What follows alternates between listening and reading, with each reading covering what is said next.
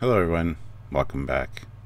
Hopefully, you have some Trek Yards love, because I'm Captain Foley. And I'm Connor Cockings, and uh, if you don't like and subscribe, the Obsidian Order will come for you.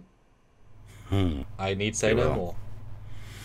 They disguise themselves as tailors and things like that, so people be very wary. Vets, Barbers, gardeners. marine biologists. Neil deGrasse Tyson. Anyway, moving on. Um, Good.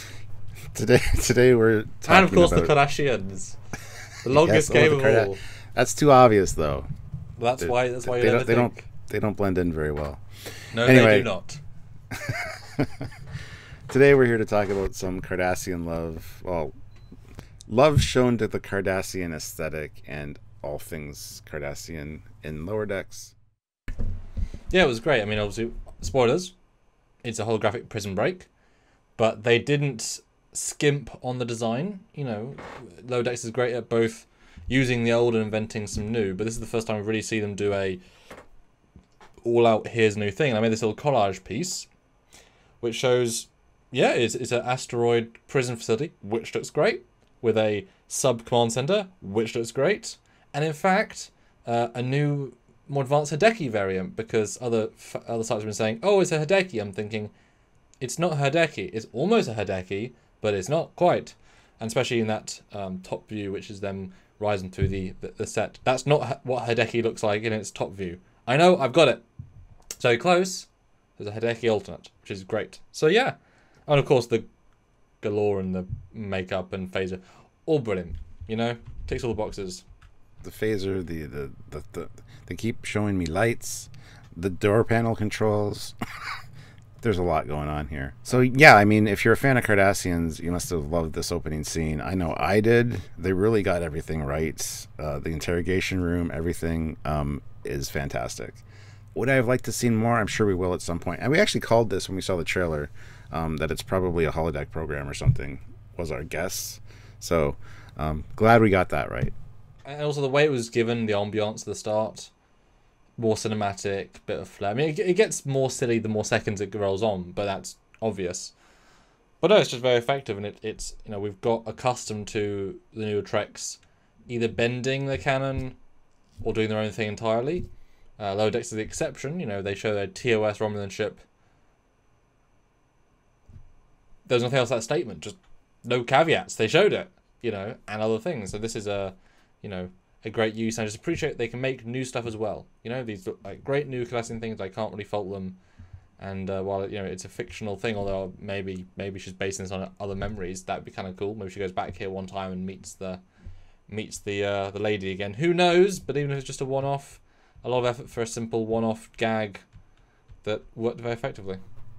I love how you said it felt cinematic to begin because it definitely did, and so did the last, well, like her Vindicta holodeck program. So if we see anything really cinematic in Lower Decks, chances are it's probably a Mariner holodeck program. Oh, I like that. That's that's smart. Yep. And this sets a slight precedent because I got called out once um, in one of my many productions by showing exteriors of ships in a holodeck simulation because, well, who's looking at the hol- who's looking at the ships? But that's not the point because it's a story for the audience. And so here we have exterior shots in a holodeck situation. So pfft, I mean, I would have external shots of ships in my holodeck programs. I like looking at ships. I like the third person fly, fly views when you're flying a ship or driving a car in a game. So I would have that in my holodeck uh, experience. Oh, and it was it was it was really well done. I mean, even like I said, the subtlety of the room that she's in, the interrogation room, the chair she's sitting in. If you watch the uh, chain of command where Picard is there, it's the same. Like they they literally know what they're doing as far as canon goes, and they, they focus on that, which I appreciate. And even the even the hallway is very reminiscent of DS9. Like keep that architecture. So yeah, The minor note to that is I wish they didn't go literal with the interrogation room because it, it is just the same room. Given this is you know a decade and a half later and a different place, I wish it was a bit different. You know, similar, similar but less. That then it becomes more just fan homage because why would it be this room? You know, that's just well, it's this it's the standard interrogation room that's built in Cardassian facilities. now now it is, whereas before it was kind of like that one special thing. You know, wasn't necessarily implied to be all. You know what I mean? It, yeah, it kind of felt like his office in that episode in Chain of Command. Or just the one he happened to be using, or you know, it, it, yeah. This is why that's why I like the the exterior so much because they are original. They feel very faithful and yet they feel new. So there's a small gripe, and it really is just you know just have that little bit of flair rather than just uh but I mean there's a you know I really had to like find a frame where you see that one establishing shot, the rest of it so in close ups that you know what it is obviously trying to be, but they don't harken on like the gag isn't where they are, it's just the oh of course moving on. Which is very appropriate as well.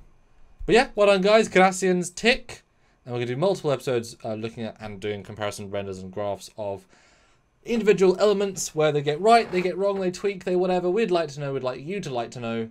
And of course, if you want to see more, check out all the other videos during the week and our lives. Our lives are the great, non edited, right there in the title. They're live with you, interactive discussions on all these great topics. Have that really big fleshing out. And of course, the super chats, which keep the show going. Uh, you know how much we do during the new shows, and just begun. And I'm sure within seven days, you'll see, boy, that's a lot of videos. And it's like, yes!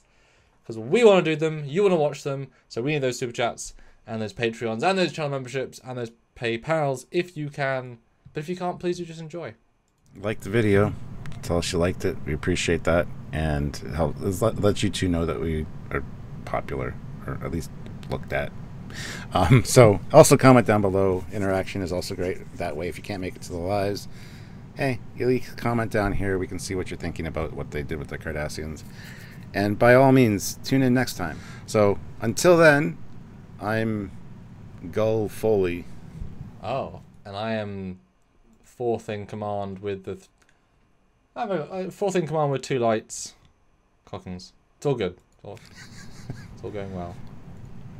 Bye, guys. Bye.